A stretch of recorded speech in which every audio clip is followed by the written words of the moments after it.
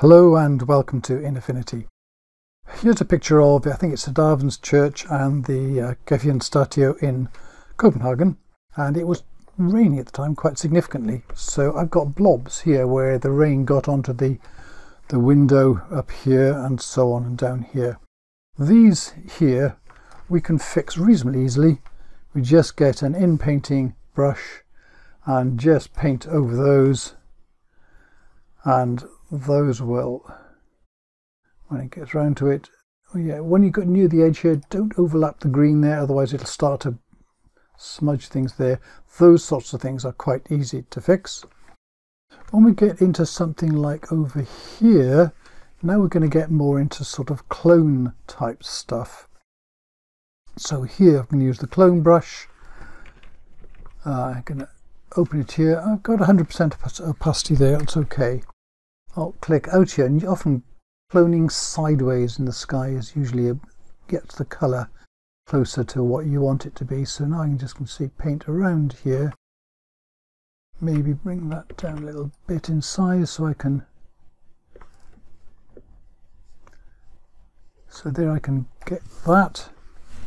Alt click a little bit closer here to get around the edge of that so I fixed that pretty quickly. What about this bit up here? Good way to do that is alt click down somewhere where it's healthy, even a bit further down there so I can and then you've got to fit it exactly to the line there so that when you paint it see that's just a little bit out as true alt make it a bit bigger to get that right so alt click on that get it exactly fitting sometimes maybe I need to go in a little bit closer there. Is that it? Nope.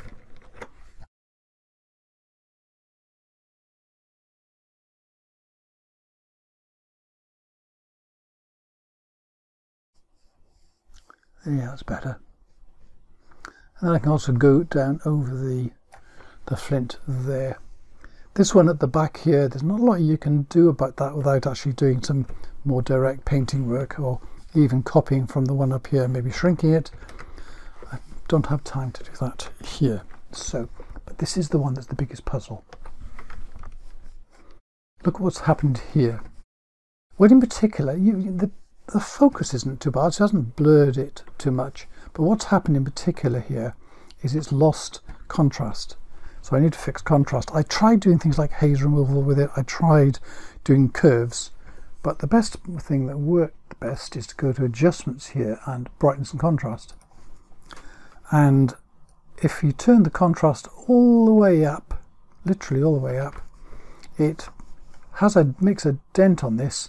The, the color starts to go funny here so changed it to luminosity so only brightness is changed. So the color is, is a, make sure the color is, is kept um, but it's also affected the whole image so if I control Z, you see it, it's effectively the whole thing's been contrast's been affected and I don't want to do that. So I go to this and I hit control I which inverts it, which basically turns it off so that it uses the, uh, the built-in mask. But now I've got to restore some of that. So what I'm going to do now is get a paintbrush here with a white paint and this now I can paint over this and kind of restore that. Got opacity 100 there. I could be a bit more subtle and do it a little bit at a time, but we're doing this fairly quickly. But what we can see now is we've got part of it, but it's not fully done. So I just hit Control J, which to copy this, but now this has gone too much. So if I Alt click on that to see it, see I've got this still here. So I'm going to paint in black over the top of that, so that now when I go back out here, select that one again, now if I paint in white on this, I can be a bit more selective about it. Maybe now turn the opacity down a bit. So I've got some around the edge here. There's still a little bit there in the middle, so I'll hit Control J again to get another copy of it. Paint in black all over this to turn, make sure this is not affected, but then go to white and just go to the area here where that is.